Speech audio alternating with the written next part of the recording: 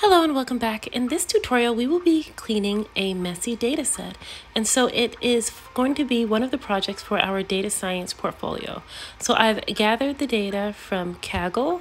I will supply this link in the description of this video. And what we are doing is we are going to utilize the training set portion of this Titanic data set. So this is the Titanic data set and we are going to be doing an exploratory data analysis. This is where the data is kept. And we're going to just download the train.csv. You see that we are downloading this here. So essentially, we are going to be looking at data about the passengers aboard the Titanic and including whether they survived or not and what metrics around that will support if they survived or not, or what correlations we can see based on that. So what I'm doing here is I'm just pointing to the pathway in which in where my data lives. We are calling the data frame, we are holding it in the df variable, and we are reading in the train.csv file. And now what we're doing is we are calling the first the first five rows of our data set, and we are just taking a look at that as well as determining what the shape of our data set is, the dimensionality, how many rows and how many columns this data set has. So we see that it has 12 columns and 891 rows. And we are also looking at the info. .info, we can see what data types, we can see if there are non-null or, or null values. We can also see the names of the columns as well as how many rows and columns there are. So this is good for taking a bird's eye view and just seeing the data types. This describe, df.describe, this is giving a summary statistics of all the columns that contain numerical data. And so we are looking at this here. This gives a nice summary. It tells us the count, the mean, the standard deviation, the min and max values, as well as the percent quartiles. And now we are checking if we have any null values and we want to create a heat map that will show us that. So this is pretty awesome. We can actually visualize whether or not we have null values or not. And we see just by looking at the values without even looking at the visualization that the age column as well as the cabin column have null values. And then we see when we look at the visualization that reflects that. And I just wanted to also bring up, so when you look at the df.info, we can also see, right, if you look at the values, age and cabin, it's showing the values are a lot less than the total of 891, signifying that there probably are no null values.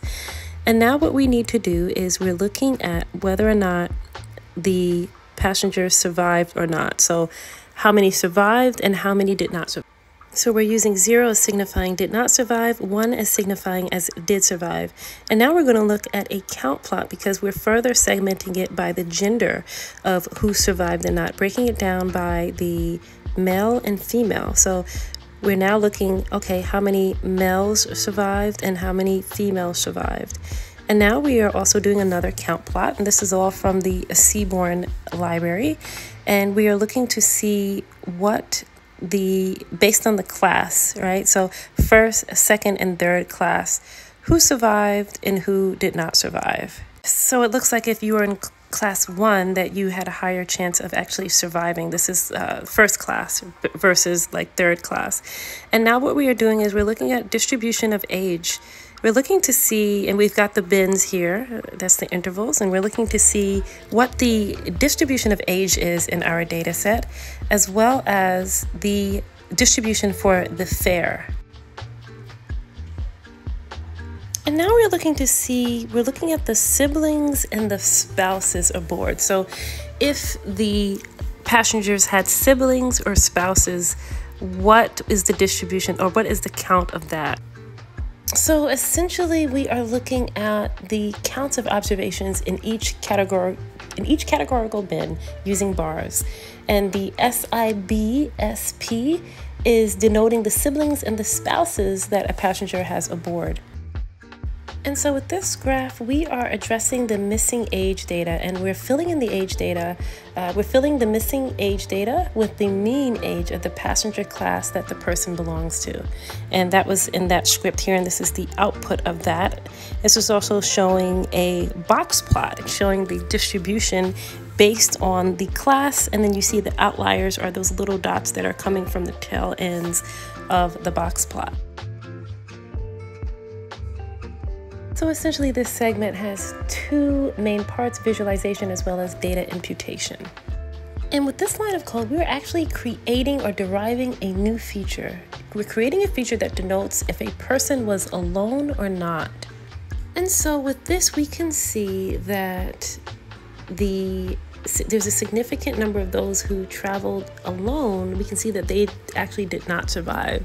If they did not, if they traveled alone, they were more likely to perish and not survive. Um, that's that's what this is showing here in this count plot. And then we have a overall summary. Our interpretation is that the dataset comprises passenger details from the Titanic. It includes demographics and travel details. And our main objective was to understand the data and derive insights, especially regarding factors that might influence survival.